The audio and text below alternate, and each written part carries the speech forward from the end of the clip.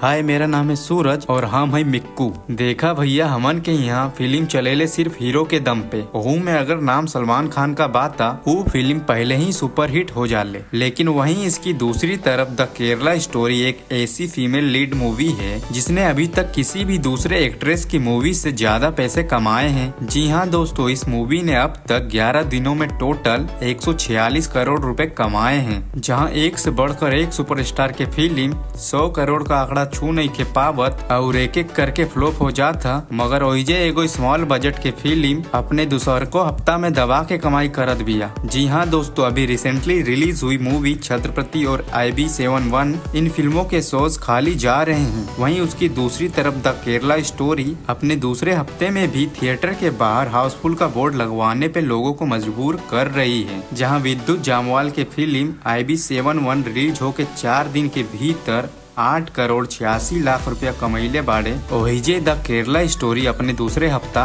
यानी रिलीज़ के 11 दिन बाद वीकेंड के दूसरे मंडे को शानदार 10 करोड़ रुपए का कलेक्शन करती है जो कि बहुत बड़ी बात है। और अभी हाल ही में सलमान खान की फ़िल्म, किसी का भाई, किसी की जान ने अभी तक सिर्फ़ और सिर्फ़ 110 करोड़ रुपए ही कमाए हैं। वहीं ओकरे दूसरे और द केरला स्टोरी जेमन ना तो कौनो बहुत बड़ सुपरस्टार बा, और ना ही कौनो बड़ डायरेक्टर। ओकरे बावजूद ही फ़िल्म ने सलमान खान के फ़िल्म केहू का भाई केहू के जान के रिकॉर्ड तोड़ के मात्र 11 दिन में 135 करोड़ रुपया कमैले बा, और अभी नहीं तो और कमाई। और तो और हॉलीवुड से मार्वल की गार्डियन ऑफ़ द गैलेक्सी, जो कि उसी दिन 5 मई को रिलीज़ हुई थी, जिसने अभी तक 50 करोड़ भी नहीं कमाए। वहीं इसकी दूसरी तरफ़ सिर्फ़ 15 करोड़ के बजट में बनने वाली फ़िल्म द केरला स्टोरी जिसका ना ही ढंग से प्रमोशन किया हो, और वहीं कई लोग इसे झूठी कहानी बोल रहे हैं। उसी के साथ इसे वेस्ट बंगाल में भी इस मूवी को बैन कर दिया गया है। उसके बावजूद इस मूवी को देखने लोग भारी संख्या में जा रहे हैं, और उसी के साथ द केरला स्टोरी ने